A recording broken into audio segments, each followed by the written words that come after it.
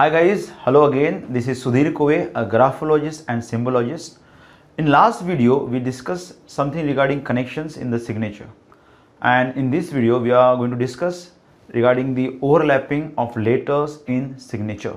So, as you know, if I sign like this,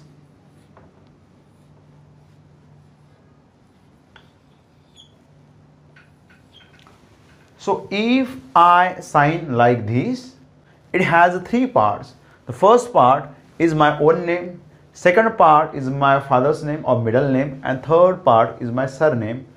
Okay, and this signature can be divided into four parts. First, this initial, second, middle name, third, your surname's initial, and remainder is your this uh, remaining uh, portion of the signature.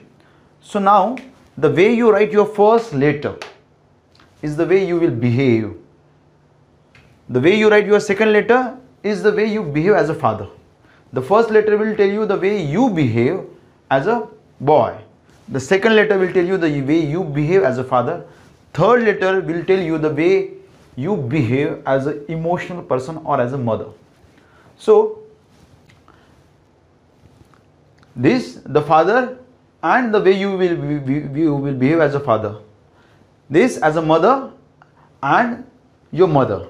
And the remaining portion of the signature will tell us the way you will occupy your time. Not the profession guys but the occupation. So what if what if i do a signature like this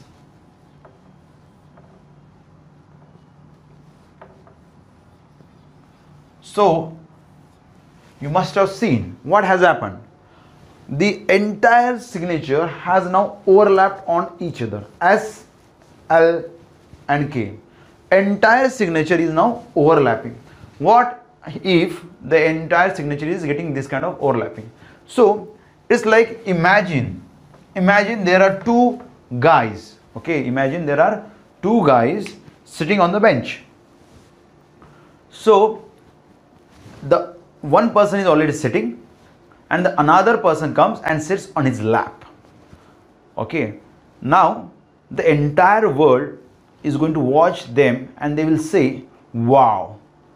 What a good people they are. They love each other so much that they are inseparable. They are sitting on each other comfortably and there must be having a lot of love between them.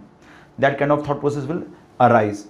But guys can you imagine the pain of those two people? Those two people are not comfortable, and the first person who is sitting is feeling a lot of pain of carrying another person. So, this is a similar scenario. The moment I write S, I am sitting on the bench. If I write small l, it means the L is getting dominated. Uh, this S is sitting on the L. If L is bigger, it means this L is dominating the S. The moment you see a overlapping in signature, whatever written, if that thing is bigger, then the bigger person will dominate the smaller letter. So if if I write small s, bigger L and even bigger K, it means in their family, the females will dominate more this person will be very very emotional and this person will always get dominated by ladies or the emotions. So for him in his family the entire decision making is done by females mostly. Today is the women's day as well. We are recording this video on the 8th of march.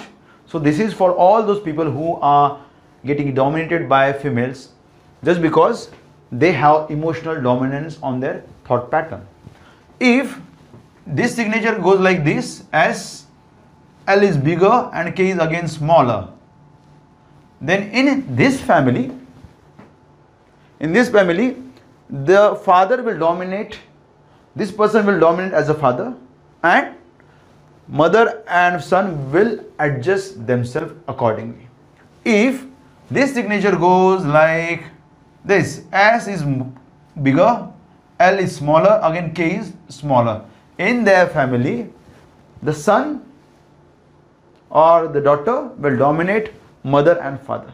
So this was regarding overlapping. The moment you overlap, you feel like you want to have a strong connection and strong bond with your family.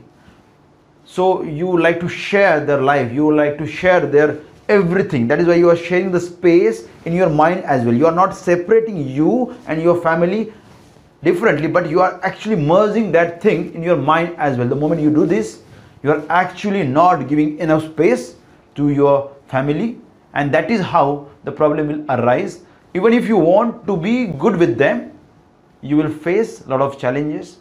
You will feel like you are not bonding enough, and this is the fallout of this kind of signature where you have overlapping things. The moment you overlap, the relationship, even if you want to be good, they will not be good. So guys, this was regarding the overlapping of the signatures. In our next video, we are going to discuss the encircling or the covering of signatures. What, it, what does it mean and what are the benefits of it? Those things will we will discuss in the next segment. Meanwhile, if you are interested in knowing any unique and particular signatures, you can always send us a mail on sudhir at sudhirkove.com. You can subscribe to our channel. At the same time, if you want to get a notification of our new video, you can click on this bell icon and you will get all the notifications. If at all you have unique signature and you want it to get analyzed by us, you can send us a mail on sudhir at. Thank you very much guys for watching. Love you all.